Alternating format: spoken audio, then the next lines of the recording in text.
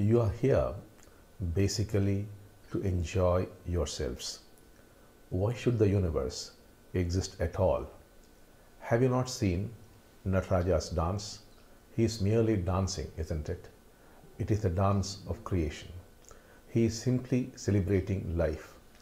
So, each one has to find out how to celebrate this life. What comes your way, accept it and enjoy it. You have to create what you want. Life could be divided into four phases. In the first phase of life, you are expected to acquire knowledge and maintain your body healthy and strong. In this phase of life, you must be focused on education, acquiring skills, and preparing for the future.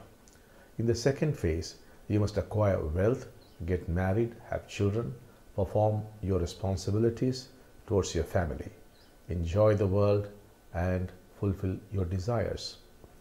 In the third phase, if you are really fulfilled in your life, craving would have ceased. In this phase, you could be with your family but should feel detached from your family. You must serve the world. You must be concerned about people, but nothing personal should be there. In the last and final phase of your life, you should not be attached to the world. This is the phase in which you seek liberation. You cannot just continue in the first phase of life because it would soon become meaningless. Therefore, you must move on to the second phase and embrace its pleasures and pains. These two would soon lose meaning and therefore you move on to the third phase of serving the people. These two would ultimately stop giving satisfaction. It is then that you move on to liberation. Hopefully, if you are awakened, the same mountains, the same stars you saw earlier would look very different. You could enjoy the world and simply pass away from this world. This is the game of life.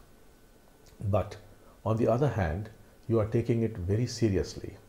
There must be liberation from work. It does not mean not doing work. You don't see it as work anymore. You see it as play. So you must see everything as a game. You must know everything is a passing phase. Everything will come to an end soon because there is nothing permanent. Order will move into disorder. Disorder will move into order. Weak man may become strong. Strong man could become weak. Intelligent people may become unintelligent. Unintelligent may become intelligent. Love could become hate. Hate could become love. This is the law of the universe. You cannot stop these things.